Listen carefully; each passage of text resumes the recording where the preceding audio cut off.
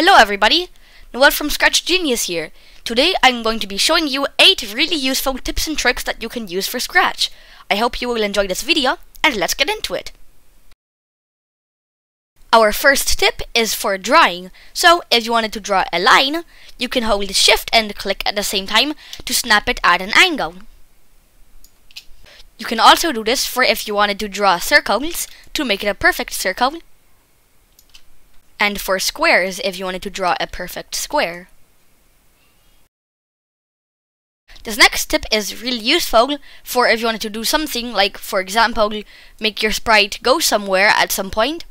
Well, then you can simply drag your sprite to the position that you want it to go to, and then when you drag in the go to block or the glide to block, then the coordinates of the sprite would already be put in here. Really cool. This next trick is really useful for if you want the sprite to detect collisions with other sprites, but you want it to be invisible. For this example, I am going to drag in a when green flag clicked block and a forever block. Now forever it is going to set the variable touching to whether if it's touching another sprite or not. So if touching the button 1. I'm also going to make it go to the mouse pointer. If we hide the sprite, you can see that it would not detect any collisions when we touch the button.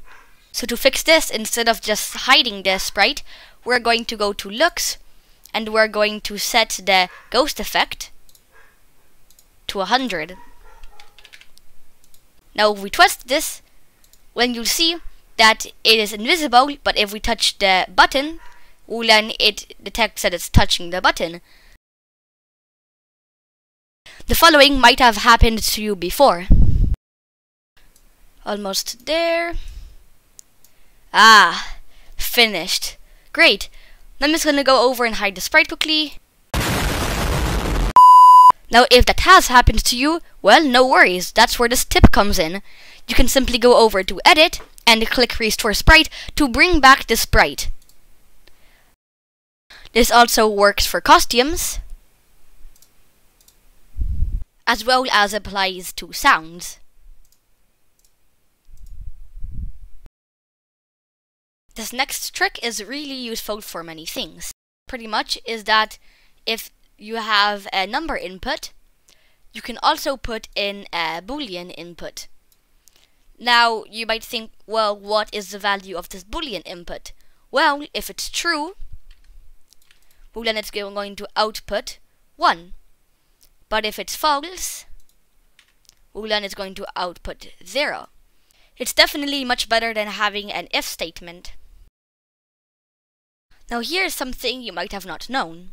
If you have, for example, a repeat block, well then, if you set it to run, for example, 10 times, it is going to run whatever's inside of here once every frame until it repeated it 10 times. Although, however, if you want it to repeat all of these 10 times in one single frame, you are or going to have to use turbo mode by shift clicking the green flag,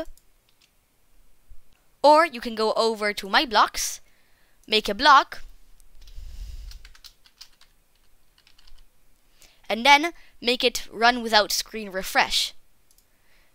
Now you can make that in the definition, and now this will repeat 10 times in a single frame. When things start getting messy, you can use this next tip to clean it up. Simply right click and click clean up blocks. Wow, this is so much more organized now. Another really useful thing to keep organized are comments. You can simply right click on a block or on an empty spot and click add a comment. This really helps for keeping things organized, for example saying what this script does. Thank you very much for watching. If you liked my video, please drop a like.